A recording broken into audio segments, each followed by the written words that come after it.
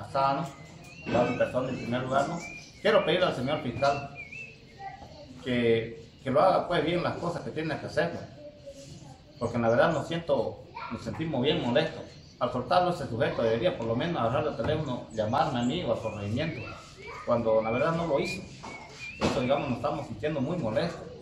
Pero supuestamente ya por cuento aquí el sujeto está suelto, ¿no? Eso no es, no es estable para nosotros. Con Muchas las petas, a nombre de todo el pueblo aquí que estamos amenazados, quiero decirle, señor fiscal, si usted no hace su trabajo, nosotros lo vamos a denunciar públicamente porque este caso no es chiste, este caso es serio. Señor fiscal, póngase el pantalón y actúe como debe de ser. a querer pasar por el puente y no le den el, pase por el puente por el bloqueo que estamos haciendo. El señor se molesta y a breves atrás dice que da unos disparos de arma de fuego, ya, que no deja mentir el pueblo, quienes han escuchado y han estado más o menos cerca de los, hechos. Y se denunció a la policía, la policía vino y capturó al sujeto, se lleva la policía hacia, la, hacia las oficinas de la EPI. De madrugada retorna esa policía diciendo de que esta moto también está involucrada en este caso. La tenemos la foto y le mostró a las autoridades y pueblo quienes estaban presentes, que no dejan mentir, creo que están acá. Ya. Resulta después, este, que lo vemos al sujeto por acá, dice, ¿no? Que yo no lo conozco bien. Y se pasea y anda murmurando y sentenciando a la gente. No lo escuché por segundas personas, nos lo comentan eso con certificación y que tengan mucho cuidado.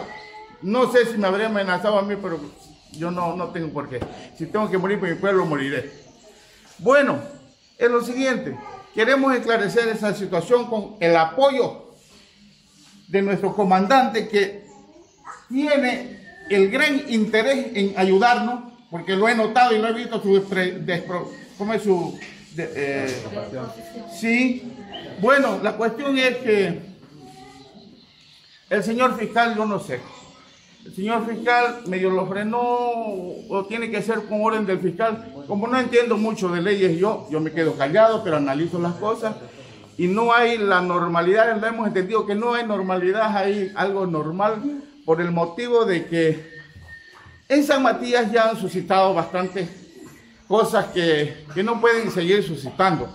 Como ser, por ejemplo, la liberación de dos sujetos brasileños que encuentran con armas y son liberados para que traigan sus ante- para que se muestren sus antecedentes, digamos, ya, y después lo liberan y llegan y hacen el, el- el- cometido con arma de fuego, liquidando a un súbdito bo- boliviano en, en dentro de la provincia de Ángel Sandoval. Entonces esas cosas que van suscitando así, debemos de ir frenándolas. Y por eso es que nosotros estamos muy preocupados y más que toda la comunidad que está susceptible. ¿Y quiénes son las autoridades? Las autoridades, y yo soy un metiche más que voy a defender a este pueblo porque me urge y concluido la importante reunión acá en la comunidad de Las Petas, donde las autoridades se han desplazado desde la capital matieña. Me encuentro en esta mañana con el coronel Oliver Fuentes. Coronel, ¿cuál ha sido la lectura suya eh, respecto a esta reunión que han tenido las autoridades? Bueno, se ha escuchado atentamente a, la población de acá de Las Petas, eh, muy preocupados, muy molestos por las ciertas situaciones que se han dado, ¿no? Es referente al, al de un súbdito extranjero. Indicarles que eh, la policía es la parte investigativa, hemos seguido todos los procedimientos, se comunica al fiscal mediante un informe. El fiscal, por procedimiento, igual a no encontrar suficientes indicios de, de evidencias que vaya en contra del, afectado, entonces puede realizar una resolución de cese de. Y es lo que hicimos. Eh, eran rumores eh, de que habría disparado un arma de fuego, se requisó el inmueble, se requisó a la persona y no se encontró ningún arma de fuego.